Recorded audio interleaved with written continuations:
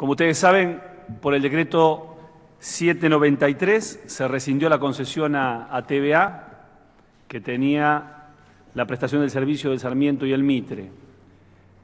Estamos en una nueva modalidad que tiene que ver con la constitución de unidades de gestión operativas, que fundamentalmente y lo más importante destacar es que hay una mayor injerencia del Estado en lo que hace a la regulación y al control de los servicios públicos en general. El plan de obra son 633 millones de pesos, el plazo es de un año.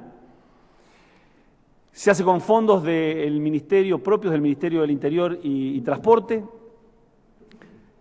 Tiene una inversión en lo que hace a infraestructura de 341 millones con 500 mil pesos. El material rodante, 173 millones con 400 mil pesos. Y en lo que hace a talleres, 118 millones 900 mil pesos.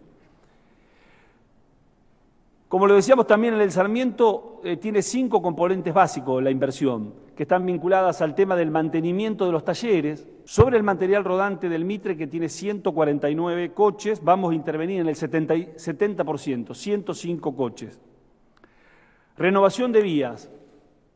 Vamos a intervenir en los ramales Tigre, José León Suárez y Mitre. Lo que vamos a hacer muy rápidamente es intervenir en las curvas conocidas como hipódromo, hipódromo y Carranza. Por supuesto que con estos trabajos vamos a mejorar eh, la frecuencia y el confort de la prestación del servicio. El cuarto componente tiene que ver con el señalamiento. Vamos a un llamado de licitación también sobre el señalamiento del ferrocarril Mitre en toda su traza. Y el mejoramiento de las estaciones ferroviarias. Hemos mantenido reuniones con los intendentes municipales eh, de toda la traza del Mitre y hemos encontrado la mejor predisposición para trabajar en forma conjunta para que las estaciones de ferrocarriles sean espacios amigables, seguros y en la cual se puedan brindar servicios de parte del Estado.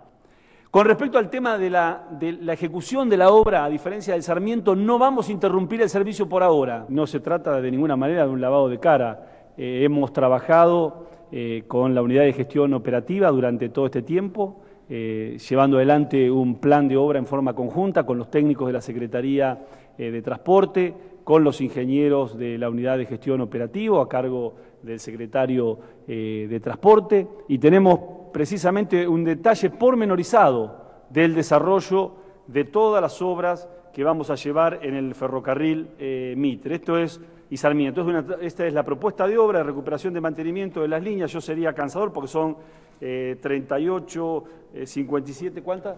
57, 78, eh, 85 ítems. Pero nosotros eh, trabajamos en serio. De ninguna manera vamos a hacer algo que no eh, redunde en mejorar el servicio de transporte público de pasajeros.